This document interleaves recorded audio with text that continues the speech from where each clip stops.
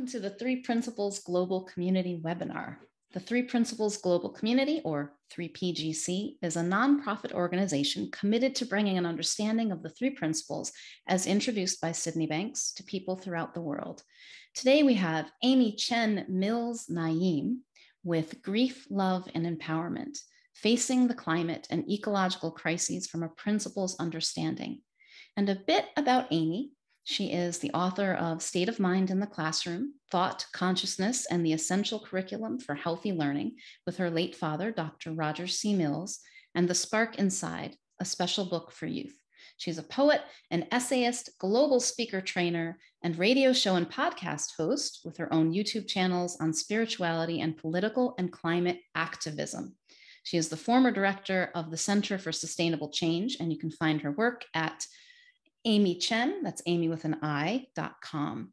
And not only that, Ami is running for office right now. So this is, uh, she has a lot to share with us about bringing the three principles into the world and making a difference with it. So thank you so much, Ami. Thank you. Yeah, thanks, Stephanie. What a great introduction. And thank you for you know, taking the lead on these webinars. It's wonderful to have you. You're just a perfect fit. I can tell.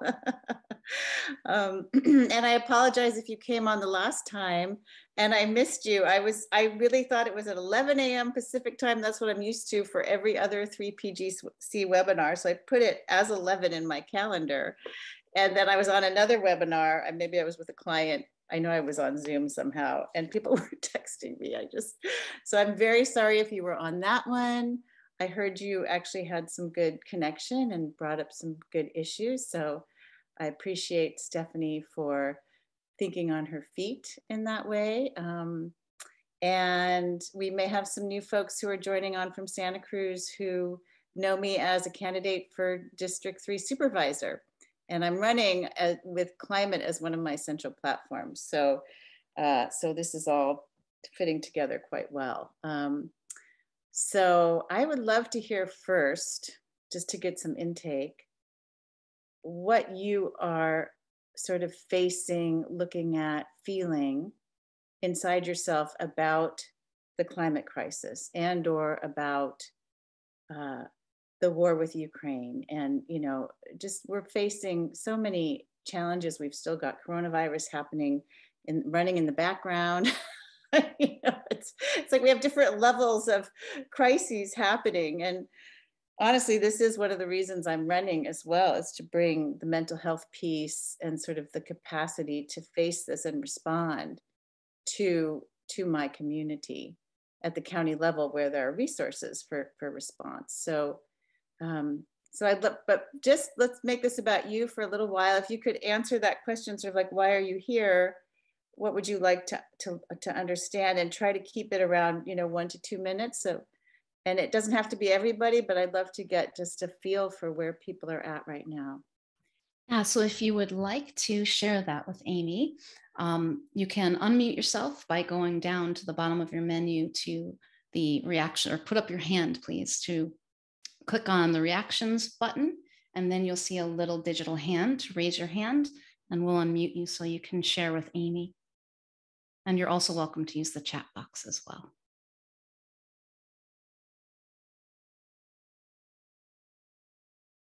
Ah, Denise. Hi, good morning.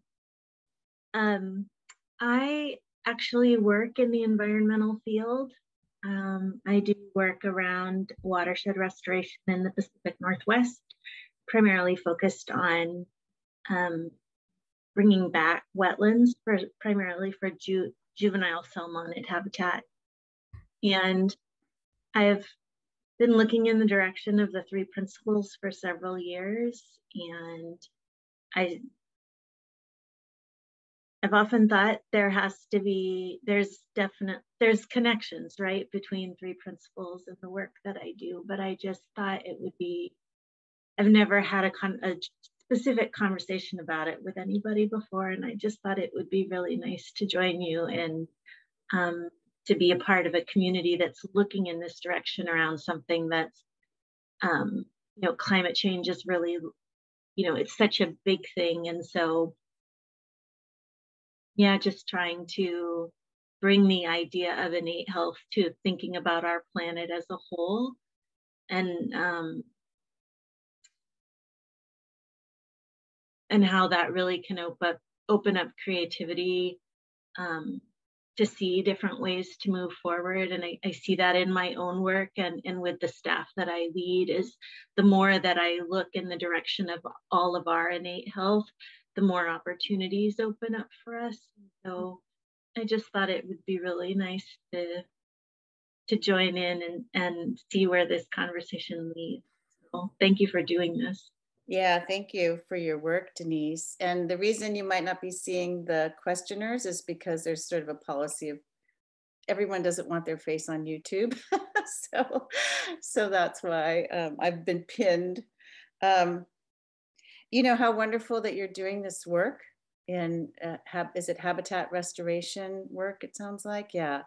Um, and I think that that's something that from my history in the Three Principles community, um, that's not a field that we've been moving into. We move into corporate consulting, we move into um, schools, and we move into correctional facilities, and we move into even, you know, at-risk communities, but environment and ecology has not been a focus. And so it's, you know, it just warms my heart that here you are bringing principles of innate resiliency into your work and, and what a, a blessing that is and a benefit because you will be able to speak to your staff and to others about how this is helping you. And this is some of the most essential work that we have, you know, uh, you know, uh, to, to deal with right now. This is some of the most essential work we should be doing. So thank you, Denise, for for chiming in. Yeah, anybody else? We have a comment from Jane that was put into the chat that I'll read.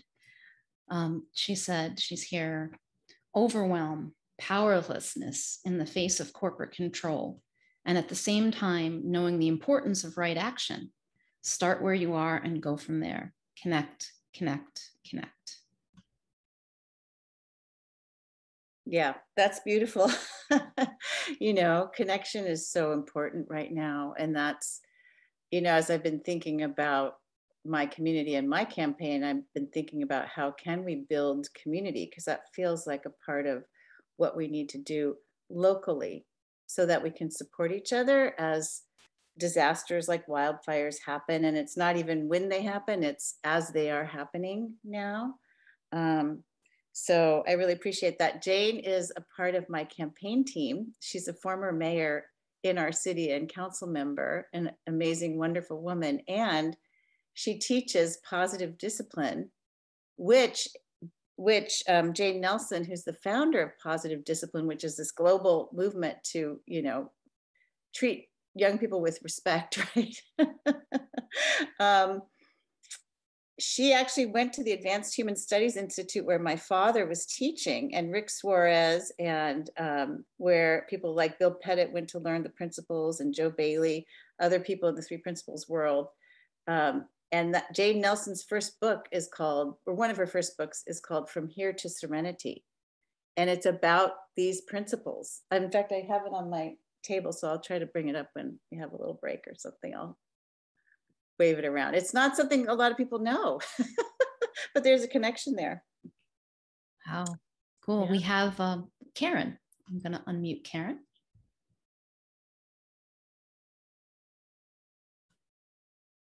Oh, are we crossing each other?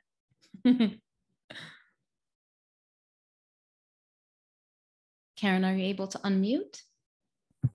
There you go. Okay. Hi, Ami. I miss you, Karen. Yeah, it's been a while. Um, let's see, I'm here because Ami was talking. For one, Ami, I, I totally admire and appreciate the work you're doing. And I'll start with that. And I'm I'm here in Alaska, so we are one of the most rapidly changing environments because we're in the Arctic um, we have a lot melting, a lot of huge amount of change here in Alaska, and um, it directly affects our way of life because many of us live in what we call rural Alaska, in, in more remote places. And we still hunt, fish, and gather uh, quite a bit. And so there's a lot of change in animal patterns and even uh, effects on the fish now with warmer water, you know, our salmon run and that sort of thing. I find it very, I don't know, I, I guess for me, it's hard to believe that with the within the three principles community, we're focusing on corporate you know, I'm just going to be blunt and honest here, you know, and I, I know there's specialty in different areas with, with like a lot of corporate support and, um, and different, which, you know, the different disciplines is important, but I, I feel more and more how urgent it is in our world. This is our home this is the only home we have. And if if we don't start speaking up and doing something to address the killing of our home, it, it's going to be gone. I just saw a statistic the other day about you know, more animals and more life dying on our earth because we're getting so close and for me what i realize is it's it's real easy to take my comfort and ignore what's going on. Um, but it's to a point where you know as i learn more and become more and more aware of what's happening in my home i can't ignore it anymore. So with the principles this understanding for me it's not about you know, getting getting pissed off, although sometimes I do. And it, it's also not about this stuff being all fluffy and rosy. It's about addressing what's a real, real crisis in our world. And with with the guidance of the understanding of how we're made as human beings, I feel like that direction could get a lot done.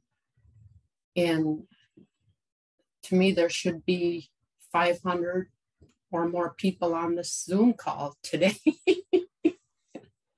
well, they might so, listen later, you know, there's hope. yeah, there is always hope, definitely. But again, I appreciate um, the webinar. I appreciate Ami, you addressing this very urgent topic and I, I don't usually attend these, but your name came up in my inbox with the 3PC PGC deal and I I needed to be here. So yeah, that's where and, I'm at.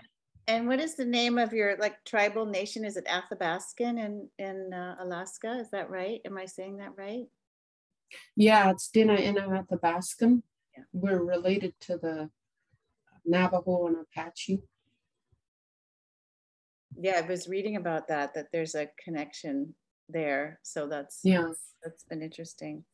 Thank you so much for, for joining, Karen. Um, yeah, we are on uh, the territory of the Awaswas speaking Uypi tribal nation. And they actually, uh, the Amah tribal band does a lot of work in restoring ecosystems in this area. You know, they're doing controlled burns and they're planting native plants and they're they're very active. So um, it's cool to see. I've talked to them quite a bit. So anyone else uh, want to chime in? Maybe we can take one or two more, especially if you're feeling something, you know, very stressful or intense. I'd like I'd like to hear that a little bit of that. Or if you're confused.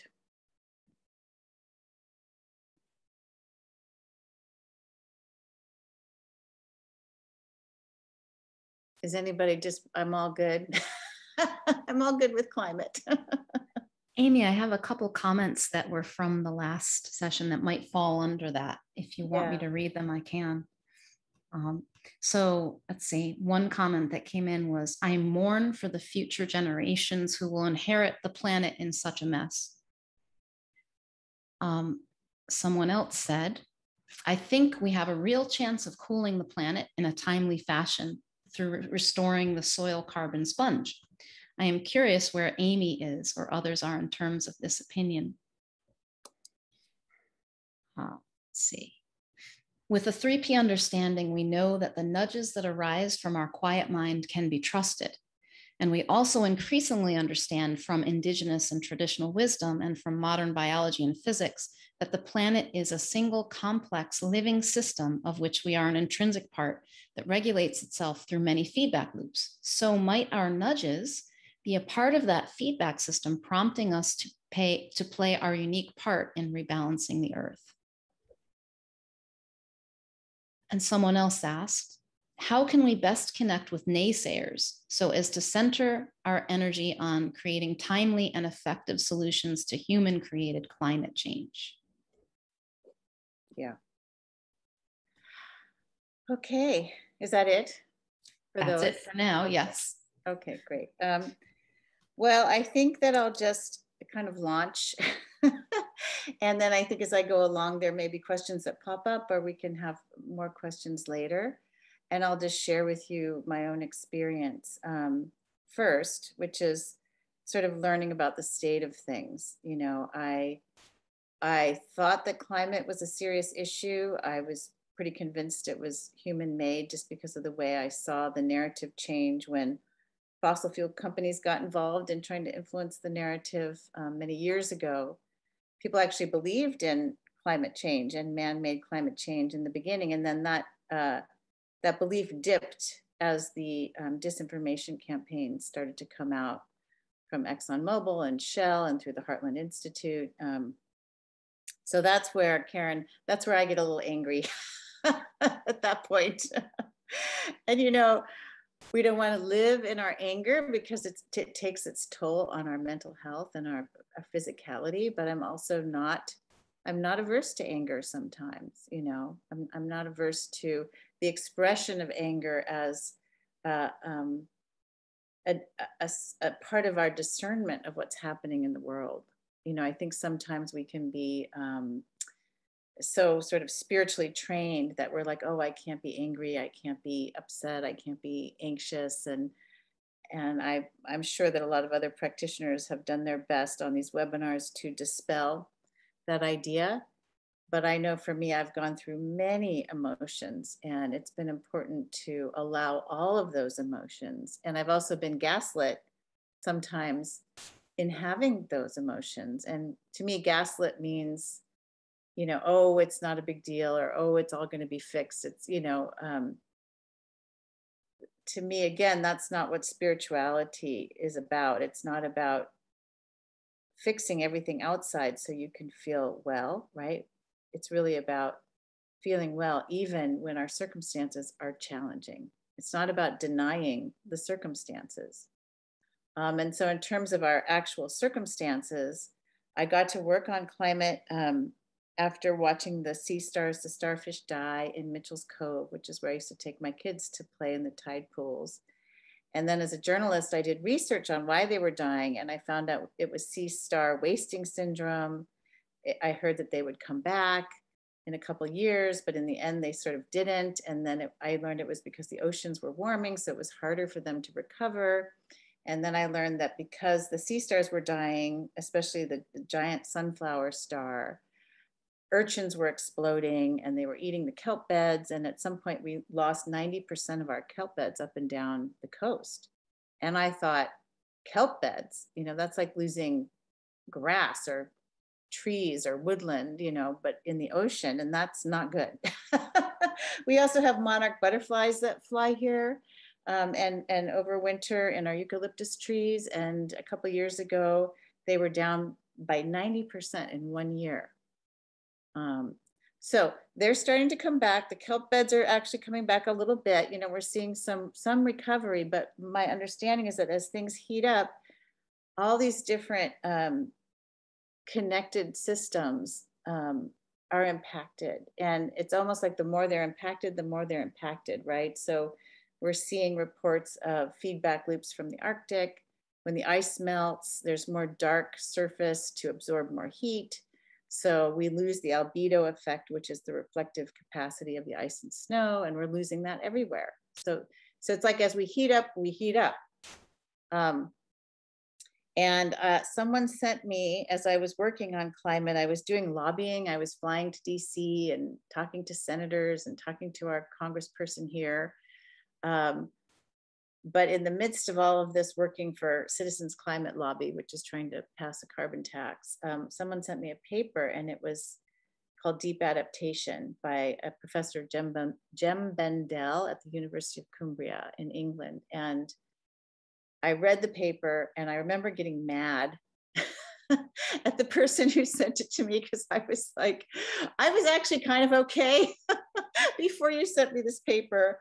And it was just this very considered reflective analysis of the science and the IPCC reports, which are heavily influenced by governments and businesses. So they're actually very conservative.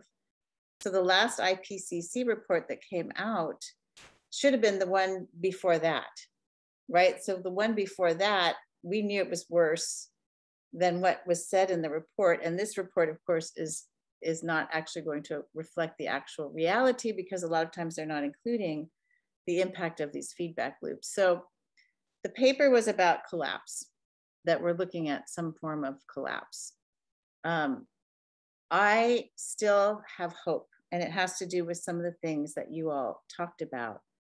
The connection that we have in terms of if we all are inspired to move in a way that's productive and helpful because climate affects everyone. You know, even the wealthy people, when we get mad about corporations, for example, right? Um, they will be affected. And I think it, it takes longer for people in power to understand that the things that normally protect them and insulate them from the problems of the world, whether it's a gated community, whether it's the capacity to buy farmland, you know, and think that they can live on this farmland all by themselves with their families, like these are um, illusions this is not going to happen because you need also someone to birth the children and you need someone to fix the you just we're we're connected. And i think that's what we're learning through the pandemic is how connected we are as we're seeing supply chains fall apart.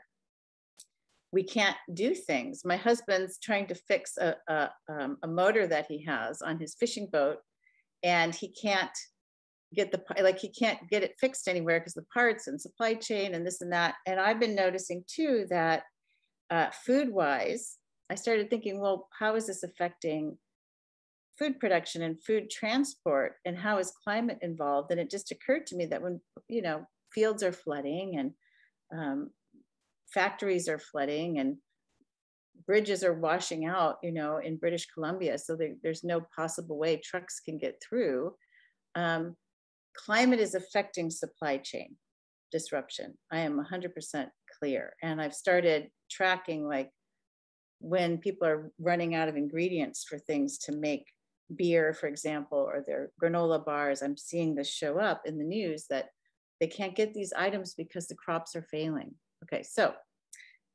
I'm sure everybody feels much better after that. but the only reason I bring that up is because if we don't face reality, we cannot respond appropriately. So, facing, you know, I tell people don't be afraid to look. And then when you look, if you're human, right, you're going to have emotions.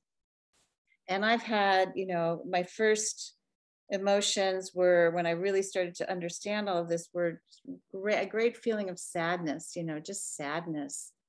Like this is crazy what we're doing and, and what the impacts are. I mean, it's, it's insane and it's so sad. And then I moved into sort of like anxiety, a lot of adrenaline, like, I think for a while I was like, I'm going to fix this single handedly. so I started Extinction Rebellion in my hometown and helped to organize the massive climate strikes that happened in 2019 and organized civil disobedience dances, you know, to staying alive at Chase Bank to get them to divest from fossil fuels. And I still go to Chase Bank once a month and I'll probably still be involved in the climate strikes. But I see that all as uh, one phase of my response, you know, and then to just grieving and weeping. You know, I've walked through my woods just weeping, you know, and, and I, I remember being once we were on holiday, we were in a different location than here, and it was pouring, pouring rain, and it was nighttime, and I just started to to weep, and it almost felt like the rain was it was so loud, it, it was noisy rain. That's how much it was raining, and my tears were like the same the same thing. So um, I am not averse to emotions, and I mean, I'm sure most of you are not, but I know that we can be afraid of them. And I think that that is actually some of the underlying psychology around climate denial. Is if I actually look, if I acknowledge what's happening, I don't think I can handle the emotions that I'll have.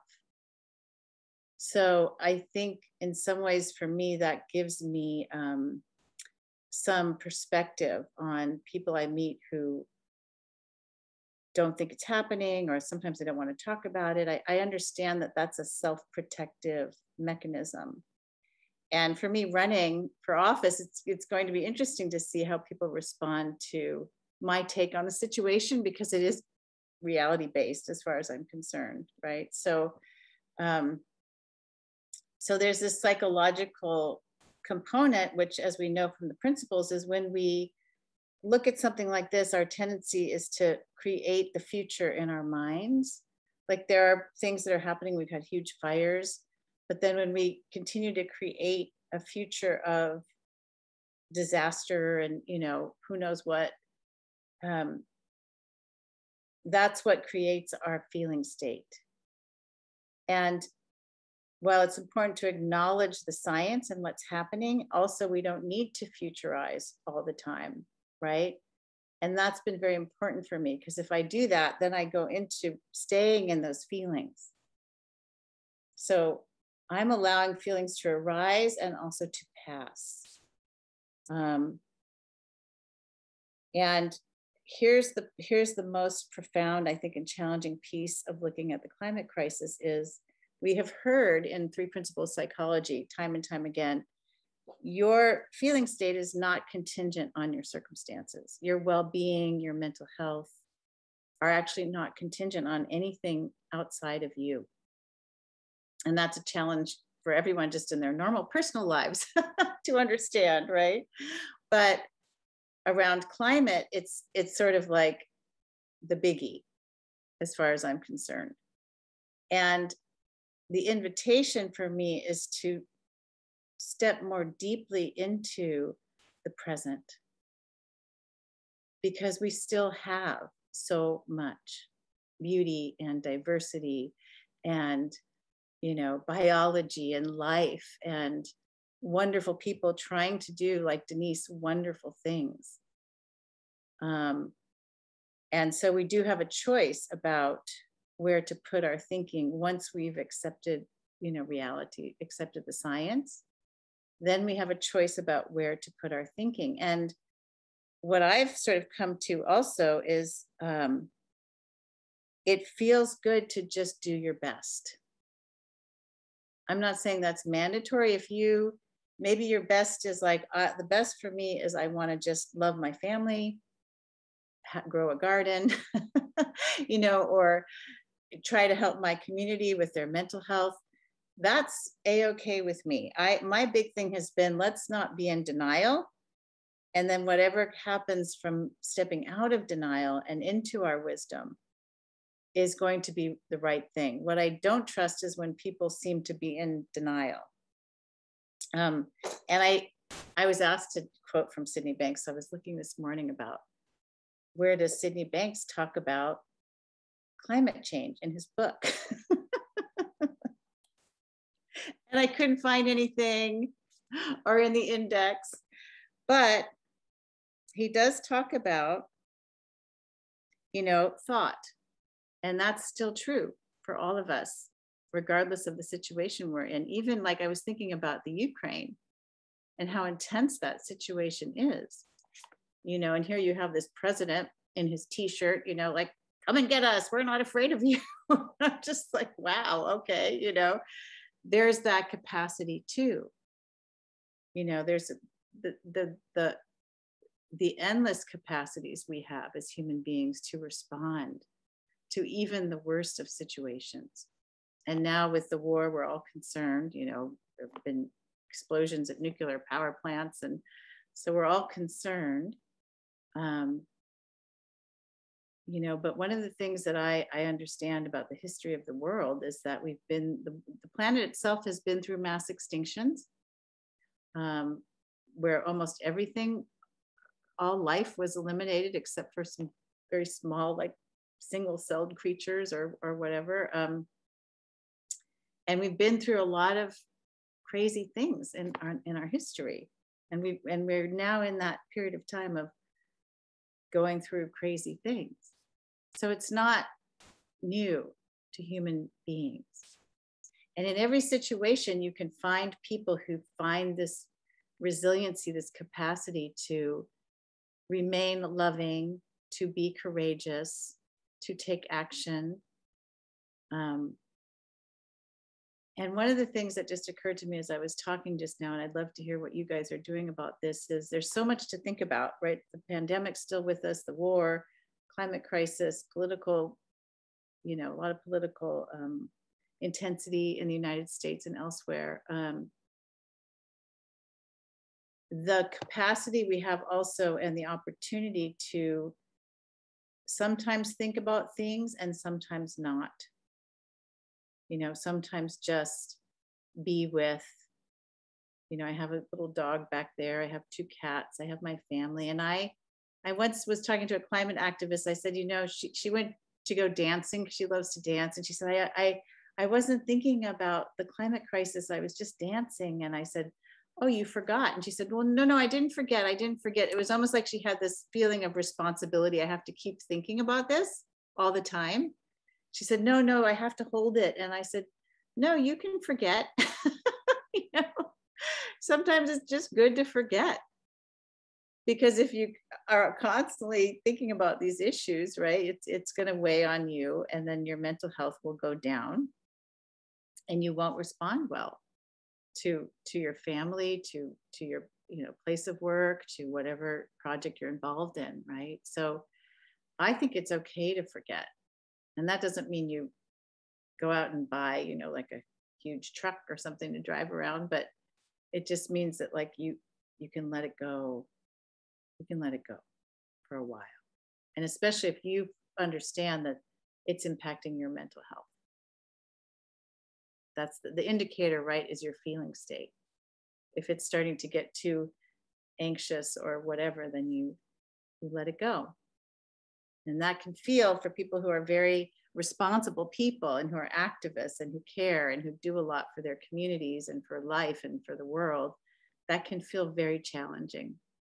Um, so, um, so here's Sid on thought. Your personal mind activates your thoughts and makes them good or bad. You have no control over what others think, but you do have the power to control what you think. In the silence beyond all things lies the divine knowledge that will help guide you through life. Look within your own consciousness, for here lies the answer to all of humanity's problems. And I think in the past, we have seen these words as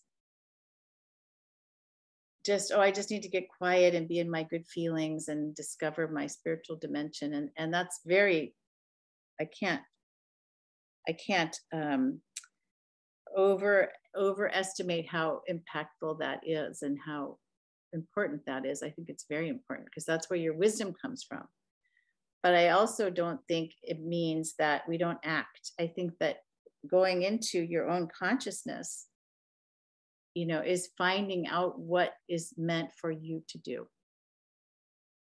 What is yours to do? somehow in my consciousness, running for office seemed like a good idea. I'm not sure. I don't know. I had a good feeling about it. uh, um, and then I wanted to share around the Ukraine war and the political situation and just the craziness.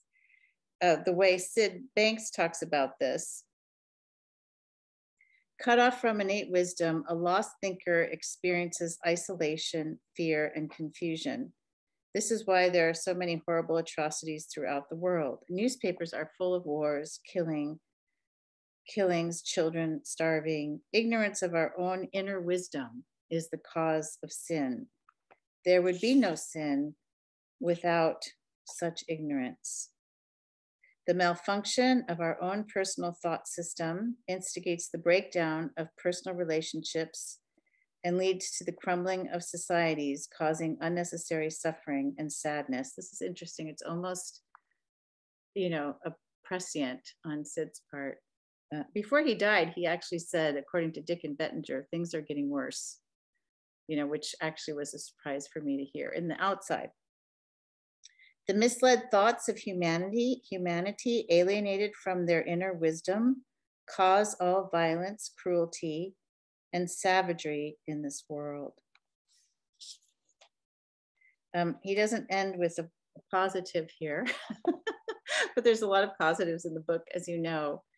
And it occurs to me, as Denise said, that the antidote, no matter how far gone we are climate wise, no matter what's happening in our societies, in our on our planet, uh, is always to go into finding our wisdom, because that is not impacted by our circumstances. People who responded to the fires here as I've met with them up in Bonny Doon, they're all responding differently. You know, some people are very upset that, you know, that they got burned out of their homes, and I understand that. That's certainly understandable. I'd probably be upset too. I met one man who's living in an RV. He said he lost $400,000 worth of ceramic art in his ceramic studio as well. The whole house burned to the ground. And he also said the fire was one of the best things that ever happened to me. I said, Why? I'm really curious about that. He said, Because I realized I don't need all that stuff. I'm living in an RV with my family. We have a little fire at night when we can, and I still go surfing. You know, eh, there was something he really realized. I believed him. And so he was experiencing this whole challenge of having his home burned and trying to rebuild it. You know, it's very challenging for folks up there to rebuild um, in a totally different way than than other folks. And that's always true for us in the midst of climate crisis, in the midst of war. You know, even I just interviewed Joe Bailey on on the radio. He just wrote a book. Uh, Dr. Joe Bailey is a is a principles based psychologist, and he wrote a book called um, thriving in the eye of the hurricane. And he has examples in there of people who lived through the Holocaust, even, and somehow maintained their sense of love and well being. He has the stories in the book. Um, so, yeah, so I think, is there anything else I wanted to share? Oh, someone asked about soil, the carbon, the carbon sponge. Um, yeah, I mean, I I'm uh, sort of of two minds. One is, you know, I met this woman on a plane. Her name is Tia. She lives in the Four Rivers area of Australia, and she just was posting on social media. Her entire like county region, whatever they call it, is underwater, and people are running out of clean water, food, medicine, and she's like, no one's coming to help us. It's been it's been a couple days now. No one has come to help us, and we need these medicines for people and I'm looking at this territory, this neighborhood. It's a, it looks like actually a, um, a very nice, you know, kind of upper class area. And so, you know, I tried to post to share what was happening there, and I understand this is all happening, and at the same time, there are there are some solutions that are very promising and regenerative agriculture is one of the most promising solutions that i have seen um, in in the movie kiss the ground you know there's a whole um, description of what that is um, and it can draw down a lot of carbon if we were to scale up very very quickly and it brings back biodiversity to farmland you know because healthy soils draw down carbon and then, of course, you don't need as much pesticides and fertilizers uh, to do your farming because your soils are healthy. So your plants are healthier and doing better. And you're doing cover crops and hedgerows. So you've got um, different insects and birds coming back to your farmland. So I'm actually involved in a, in a campaign, supporting a campaign here in my county called CORA. I think it's called the Committee for Organic and Regenerative Agriculture. And I have a YouTube video interviewing one of the top scientists in our state about regenerative agriculture at my YouTube channel. And it's something I've already started talking to county supervisors about, and some of them are already starting to plan meetings with farmers and talking to people at Chico State about regenerative agriculture, like the guy I interviewed for the YouTube video. So, yes, yes, regenerative agriculture for sure. But we definitely need and someone talked about the naysayers and we're not going to have the momentum for that if we don't understand the situation that we're in and accept it. Then we can move. And so not everyone is good at having these conversations it's something i want to try to um, initiate in this district in the county actually is is having conversations dialogues with people who live here as part of government functions, like more open dialogues than the two minutes, three minutes you get to speak to the city council or the or the county board of supervisors. But um, yeah, so I think if you are interested in helping people dialogue and getting information across, that is a really good use of time. Um, posting on social media, I think, can be helpful. I've actually heard from people saying, I'm so thankful to the people who argued with me on Twitter and social media because I was really kind of very reactionary or right wing, right wing or whatever. And I really, I'm really grateful that people took the time to to even have an argument with me, and I've I've really changed. So there is definitely um, a dominant narrative around climate that's about denialism or some now it's going to China. Well, China's doing this and that. So we don't have to do anything. And that's not helpful, right? Because we can't control China. We can control what we do. Um, and what I've noticed too, here, I'll just give you an example of a naysayer. So I went up to Bonny Doon and I was talking to someone who's a bunch of guys whose houses burned down. And they were kind of like good old American guys, you know, like my dad, Roger Mills. Some of you may know him. He was a pioneer in this psychology. And I mentioned climate change, and this guy just rolled his eyes like, oh, as if it really didn't affect the fires or anything, you know, that had burned his house down. And um, I just kept, I didn't push it, you know, I just kept listening. And so I think that when we really listen, people begin to, to trust that we're not there to shove something down their throats, that we also, you know, in this case, I want to help people, um, you know, if I'm elected, get their permits right? They don't have to believe in climate change to get their permits and to harden, fire harden their properties. But um, but the more we can interact with one another, understanding that we do come from separate realities. The reason this person doesn't believe in climate change is because of whatever narratives they're they've been looking at or exposed to. And so it may take time, right, to shift those narratives but I do believe it's worth the effort. And I think that if we can listen to people and connect, because I like this guy, like he just, I wanted to give him a big hug, you know, because he was very sweet and a big guy, you know, but um, I don't know if he'd agree with all my politics, but I just felt this tenderness toward him. And we have to remember that. And you know, there have been times when, you know, I'm not opposed to sometimes you just start yelling because that seems like the thing to do. I, when I started Extinction Rebellion in Santa Cruz, I saw this one young man. He was down on Pacific Avenue, which is our downtown. He just stepped into the middle of the road and started yelling about runaway global warming because he was so frustrated and he wouldn't leave. And finally, the police came and someone just put a sign in front of him that said Extinction Rebellion. Um, and that's how I connected with him. I thought, oh, he's starting Extinction Rebellion. And when I met with him, he's like, no, I was just yelling in the middle of the street because I was so frustrated. But there was some power in his just expressing his emotion. Um, because sometimes emotions are, sometimes they're just more suffering for us, and sometimes they're really an expression of, of love. We love the planet. We love each other. We love animals and species and flora and fauna. And when you love, you protect. And sometimes you get angry so I don't have rules about how to feel. Except all I know is that I can come back to my into my my own quietness and you know sort out just w- what am I about in in relation to all of this. So that was a lot. I just said a lot. and I'm wondering, I would love to hear.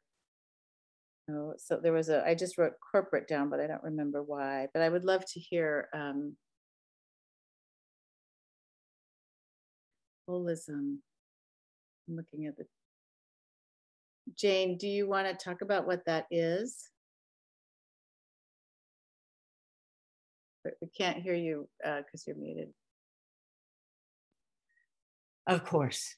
Um, Gemeinschaftsgefühl, the word coined by Alfred Adler uh, in the early part of the 1900s uh, as he was developing individual psychology, which is actually indivisible psychology, as holism. We are body, we are we are spirit, we are um, mind, and um, so what's really thrilling is that Gemeinschaftsgefühl just simply says that, you know, if you really do feel belonging and significance, then you naturally, innately want to give back, want to be a part of, and take action in a collaborative sense for the social interest, the good of all. So, and this, and so Adler's work was foundational to a lot of important psychologies. And it's, these are two concepts which help me get through the day because I don't mourn, I organize. and that's what I'm doing right now, getting ready to host a fundraiser in my garden tomorrow. And so I'm dishwashing and wiping up and things. So thank you for your patience, and I love being here. Thank you, Jane. Um, yeah. Anyone else? Questions? Did that help? Did that answer things? Was it shocking? I don't know. Yeah, if you'd like to share with Ami, please go down to your reactions button and raise your digital hand. And then I'll ask you to unmute so you can speak with her and share your questions or maybe insights that you're having.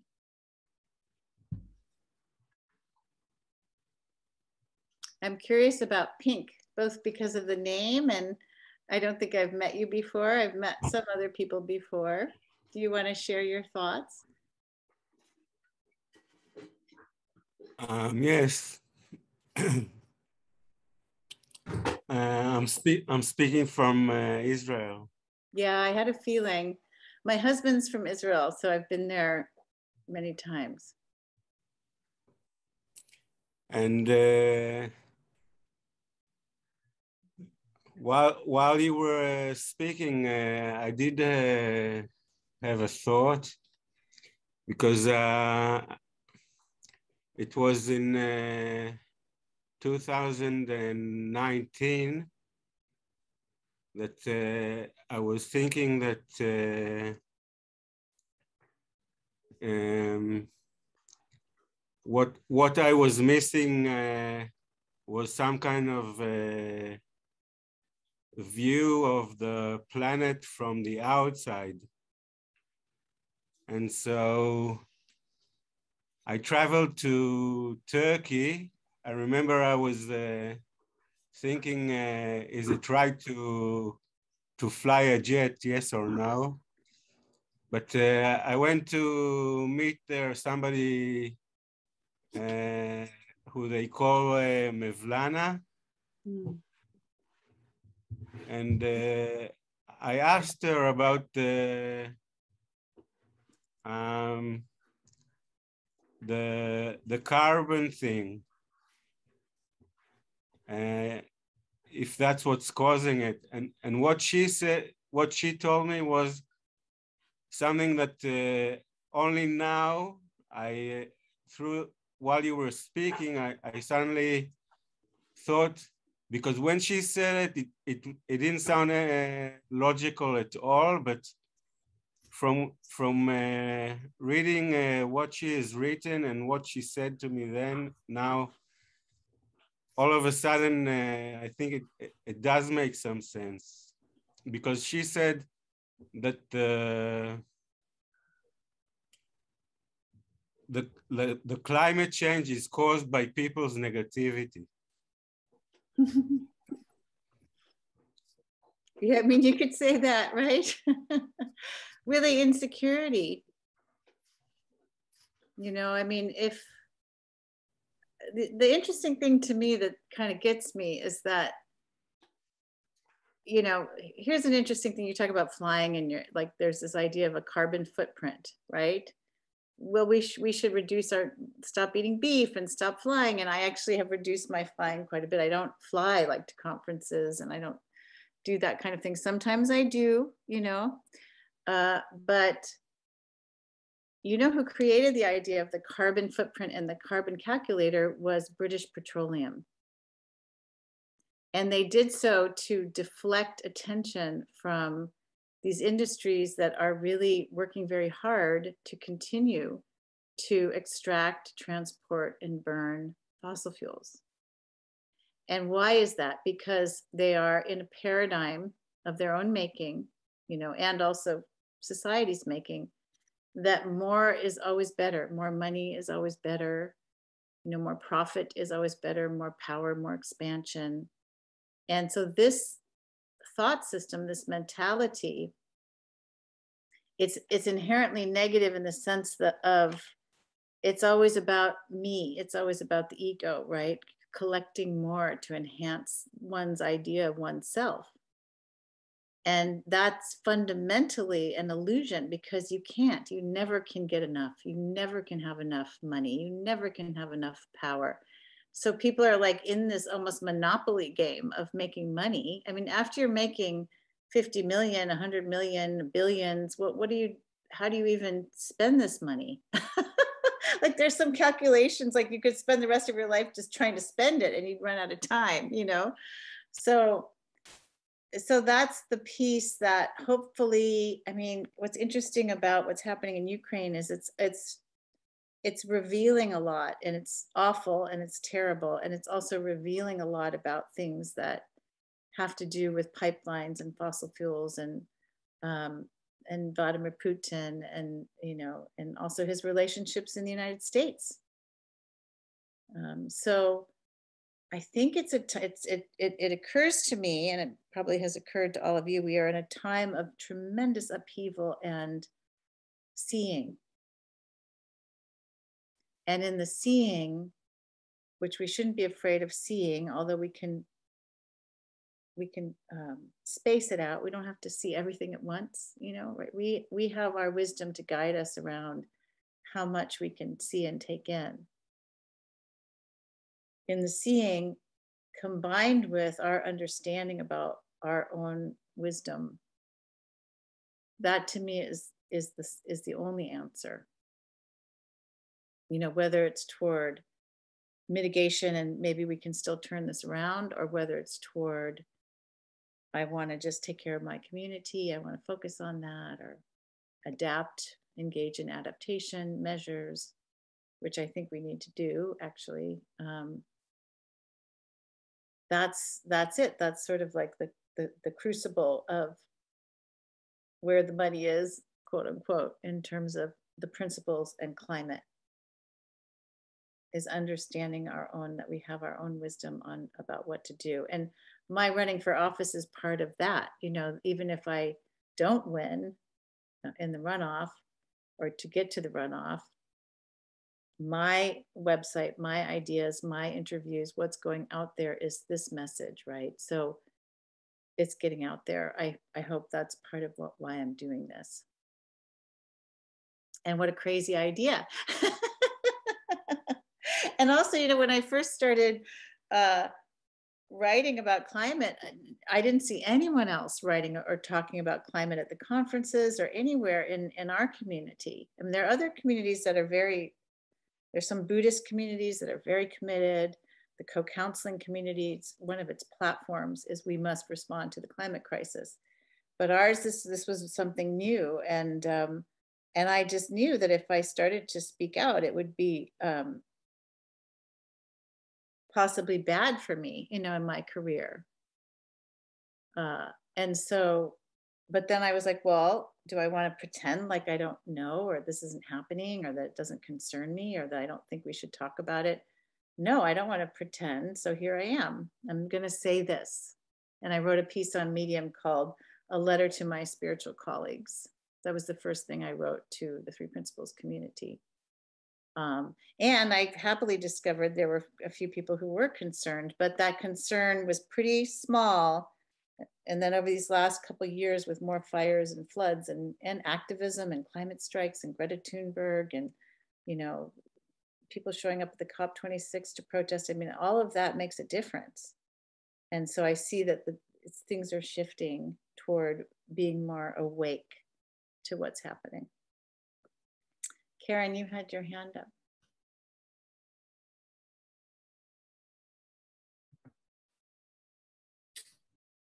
Thanks for all you've shared, Ami. One thought I had as I listened is the concept you mentioned of connection. And, you know, the thought came to me that how much we see ourselves as separate. And we're not separate. Our planet is one whole interconnected system. What happens in another part of the world affects all of us. And we can see this with this COVID crisis going on. And so I had a thought of, you know, that interconnectedness. The climate crisis is not separate from corporate or from social issues or from education. It's all interconnected. We're all part of the whole.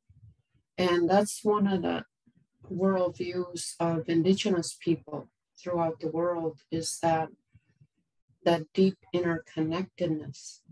And I think one of one of the keys is seeing being aware of that we're not separate.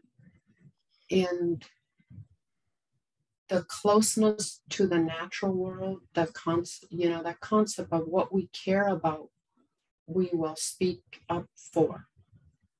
And I don't think there's many people that don't care about the natural world and earth. We just need to remember, you know, who we are and where we come from. It, it seems so simple. it seems so simple, but um, just really that concept of interconnectedness is, it really struck me. So yeah. And even as as people, right? Like uh, I think about social justice and racial justice issues, and the more I explore and try to understand the views of different people in our country, whether Black people, you know, Asian, I'm Asian. And so I've been trying to speak about our experience, especially in my community where we had Chinatowns and a lot of them were burned down, you know, and there was a huge push to expel Chinese people from out of here. Um, the more we can understand, you know, and and this is what occurs to me about indigenous people is that there's there's something there that's so profound to understand. And as we begin to understand each other's cultures and histories that we can then appreciate that we're we're connected. So if we don't sort of respect and elevate the truth in indigenous views of the world, which actually Sydney Banks uh, wrote a whole book called um, Young Medicine Man, which is based on in, what he saw as indigenous spirituality and the idea of one spirit. There's one spirit, and we, we respect that in all living things. All living things. And, you know, I think about being a child, you know, and uh, I used to go to the beach and the waves would come in. And I remember I'd have a name for every wave I would name. And they were my friends, and I was playing with the waves. You know, I had this whole thing going on with the waves. And then when I'd leave, I'd say goodbye. It's been a long time saying goodbye. And there's some we've we've disconnected from that feeling, right? That the earth, all these elements of earth are they're all relatives of ours, right? They're all and I and I do I actually have an essay. I, I, recommend people go to my Medium account. Some things are about politics and some things are about climate, but I have something called "What to Do About the Climate Crisis." And what occurred to me was the more we can spend time in nature, as you do, Karen, quite a bit. I know, especially when you're at camp. Um, there's some information that comes in. There's some. It helps us settle our minds and be grateful and then be sort of more determined to protect you know and and in that quietness of mind we gain wisdom about what to do. For us what to do. Thank you. Any other thoughts? Questions? Even arguments yeah denise. Oh denise and then vera um, well, I wanted to say a couple things. One is I hadn't realized until this conversation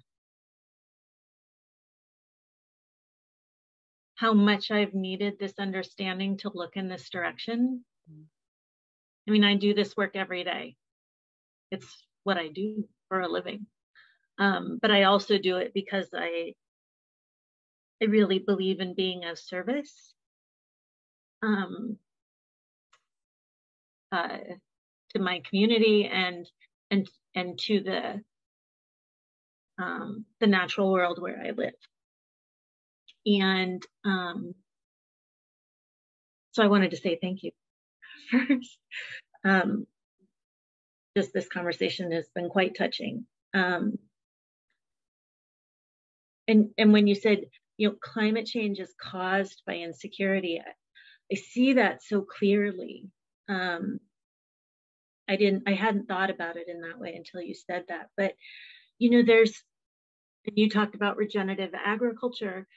I feel like there, like, there are so many spaces and places in the world where if we could just allow our minds to settle enough to where we can unplug from the way that we've always done things there's there's so the natural world is our partner as karen said we're all connected. It wants to assist us.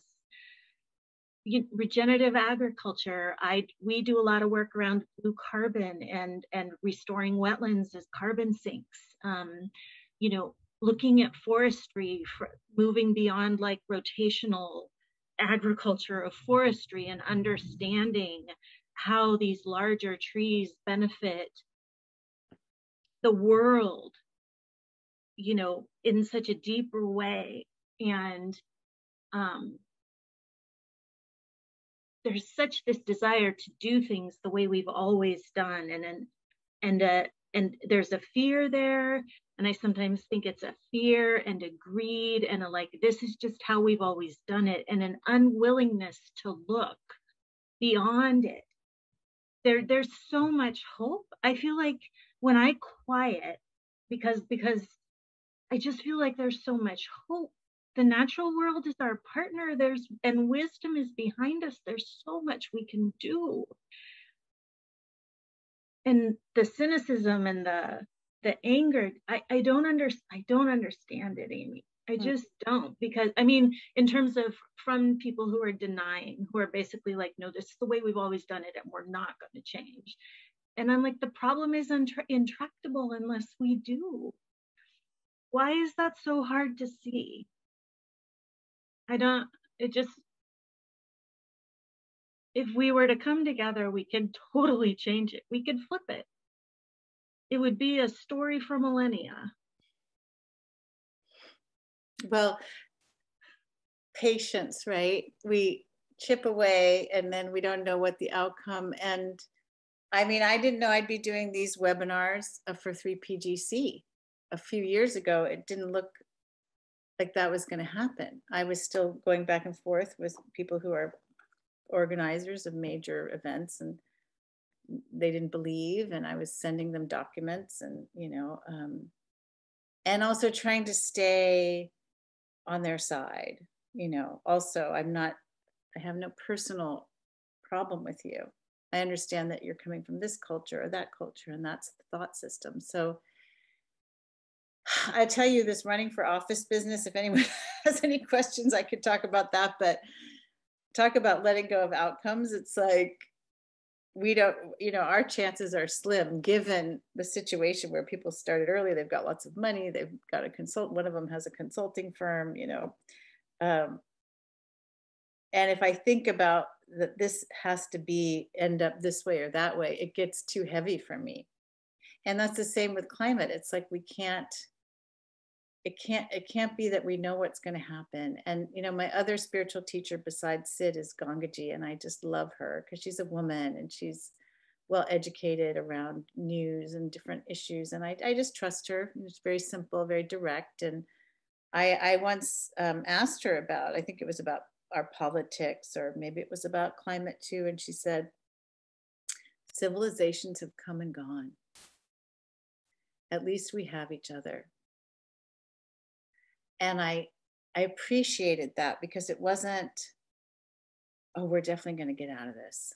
You know, like, oh, we just have to find our, you know, inner, you know, we'll all, you know, things will, something will happen. That's how I used to think. Oh, we'll figure it out I'm not so sure. I think that there's a chance, but I'm not sure that we're going to figure it out. Who, you know, which way will people's minds go? Will they go deeper into fear or will they be able to release? But I know that the only way that we can have the, the most impact toward everyone releasing is when we release. So that in our conversations, we're not attached to the outcome of how that conversation goes. If we put something out with courage to the world. We're not attached to what might happen to us because we've been brave and said something true. Right. So, um, and that's really ultimately ultimately you know the, the ideas i used to have about climate from a spiritual perspective were like oh well we're all going to die and you know form comes and goes and i would say those things but also thinking climate change won't happen until, you know, a hundred years from now, maybe we'll start to see. And so when I really learned about what was happening now, I had to re sort of go back into those beliefs and see if they were knowings for me. Because ultimately, we're just a speck right? We're a speck in a possibly multi polyverse. it just, this earth is tiny, minuscule. And it's also everything to us, right? So it's a paradox. And so when you, it's, it's like that's the invitation to go into that deeper place of we are okay regardless. We are okay. And there's something you know much deeper that we can tap into and be in to get through and to be in to, and to be in this. And denise i'm so glad you found your way right? Really glad.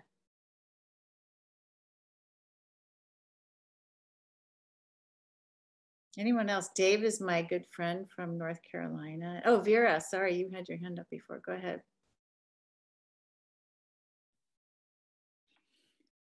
So the the word that's kind of hanging for me around a lot is love. Mm. Um, and that's it, that feels totally crucial at the moment. You know, when I look at the uh, when I look at my actions, for example, you know, uh, rubbish collecting on the bay, I do that every day. Um, if I do it from the angle of my God, there's always more rubbish. It co- totally pulls me down. If I do it from the angle of this piece of rubbish isn't going to end up in a fish belly now because I removed it from here. And it's a lot, for me, it's a lot to do with that, with the seeing, because one, uh, you know, the reality is I can't do much. Any one of us can't do much, no matter how much we do. But we can, if we flip it sli- slightly, um, we see that we can do something and we do do something. And from there, we connect with hope to each other. And I feel that the message from the Ukraine is so strong at the moment because that's what Zelensky is putting out. He kind of links up with love and in, in all simplicity. And he says, Yeah, you know, they're going to have me sooner or later um, and still uh, uh, so there's there's that the i'm just going to offer some snippets there's another snippet which i find i've not lived through any other wars luckily but i believe that it, what makes this war very different is that the interconnectedness mm. the mobile phones in the in the overflowing tube stations or um, uh, at the borders. You know, there is like a world web or European wide web, but probably further than that, of love and of honesty. So, you know, I, to me, it's pointing there are bigger forces at work that on a linear level we can't see them. But there is a multifaceted web at work where when we pull one string, the whole thing moves. And the key for it is love. I am absolutely, I find no better place to stand in this, you know, that I don't know, I cannot know whether we are in the birth canal for a new age. You know, the birth, the new age that people have been speaking about, you know, that the wise ones have been speaking about this for a long time. You know, being in a birth canal feels probably shit.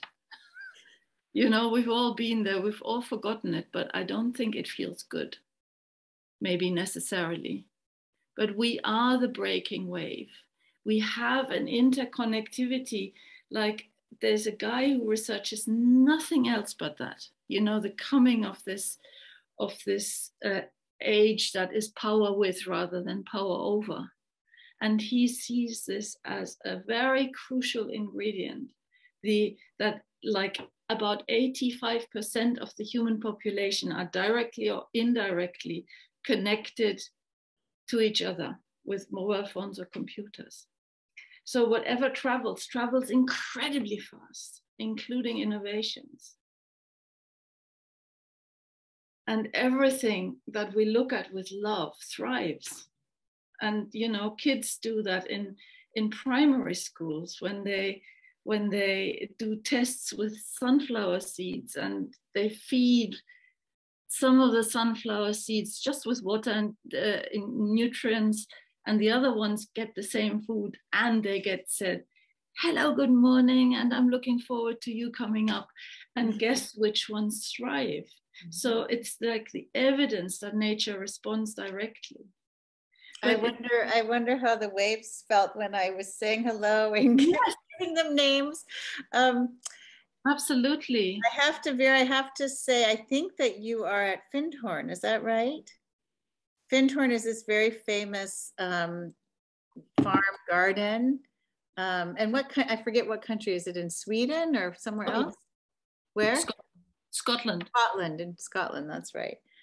And the way that Findhorn came about was also very intuitive. And I can't remember the name of was a woman, wasn't it, who, who said we need to build a farm here.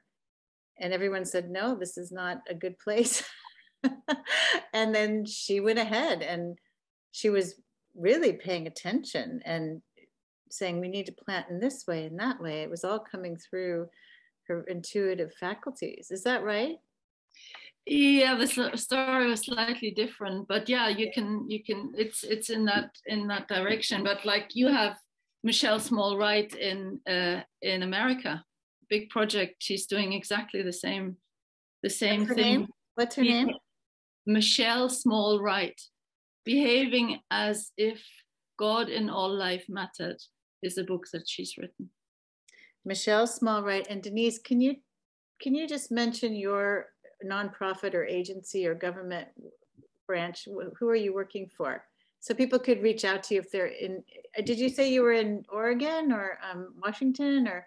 Um, yeah, so I run a council of governments uh, on both sides of the. We focus on the Columbia River and the Columbia River estuary, and where our name's a little long. It's the Columbia River Estuary Study Task Force, or CREST for short, and we're based in Astoria, Oregon. Yeah. Okay, great. So people could reach out if you're in Oregon, go help Denise. Um, I wanted to hear a little bit from Dave because I just haven't talked to him in so long, and also Jennifer, I haven't talked to in so long. And Erica is from Santa Cruz, I believe. Hi, Ami. Hi. I, re I really appreciate this call, but I also really appreciate your running for office.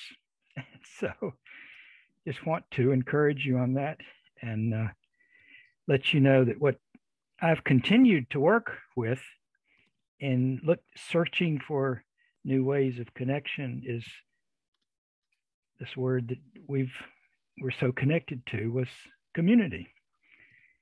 And i think that you know the opportunities for people to be connected to be in community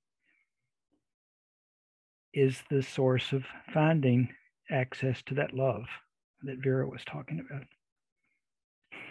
So, any rate, we'll touch, we'll catch it up some other time, but I really appreciate it.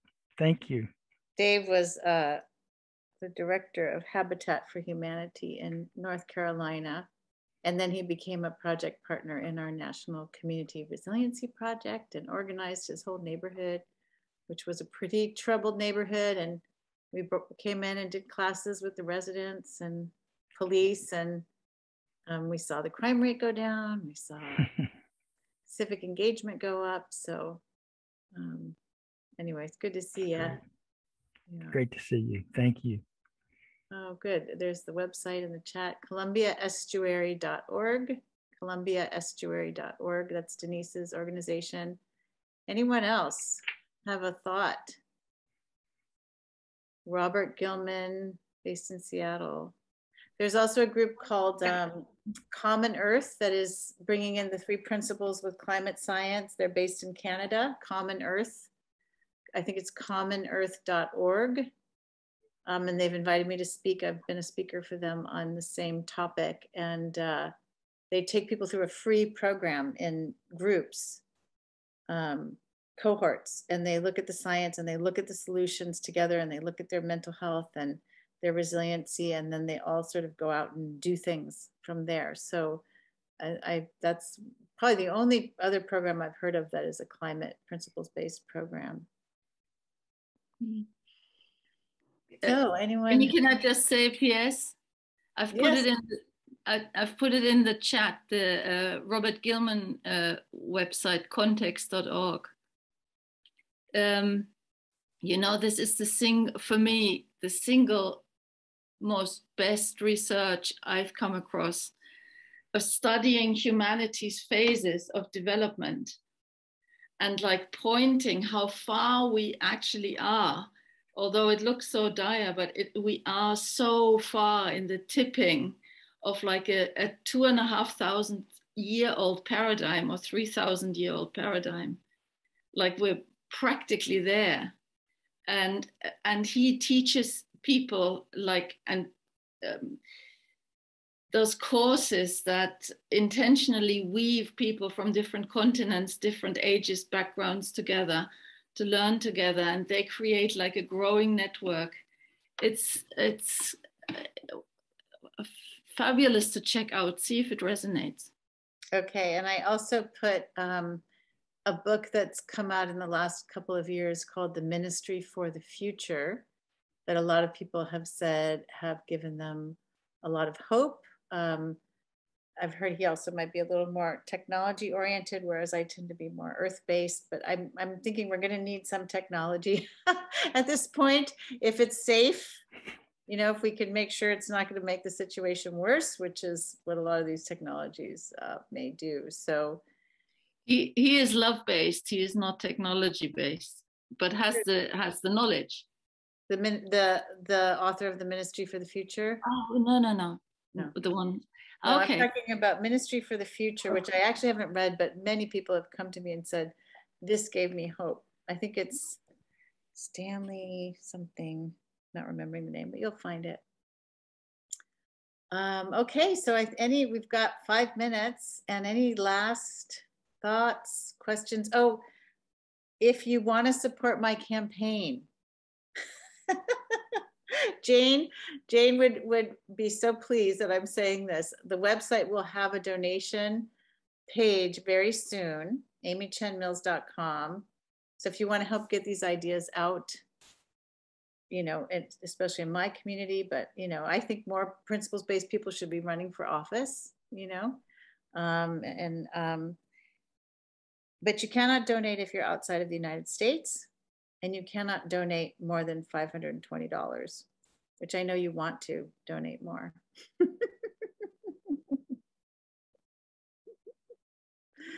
so, okay, I think, and uh, I have resources, links I can share with Stephanie for when she posts it. How long does it take to post the, um, the video? How long does it it is usually up very quickly. Bonnie is a Speedy Gonzalez. So probably within the next couple days at okay. the most, you'll find it on the 3PGC YouTube channel. Great. And then you can share this with others and that may be interested. So thank you. Jennifer, it's, are you there? Do you want to just say hello? I remember Jennifer from Spain. No, maybe she's she could be just taking a walk at this point. um, okay, well, let's, I have an 1130, so I have to run and go do that phone call. But, yeah. thank you so much. I'm so glad it worked out in the end. Oh, beautiful. Thank you so much, Ami. Very hopeful, very love filled, and also eyes wide open. Let's look at reality together. I, I love that so much. It's really meaningful to me, too. Um, quick uh, invitation for everyone. We have a presentation, next 3PGC webinar um, will be on March 15th with Carolina Gallardo. Um, and that is going to be on miracles. And that's on March 15th at 2 p.m. You can find that information on the 3PGC website. Thank you so very much, everyone, for coming. Thank you, Ami. Thanks, Stephanie.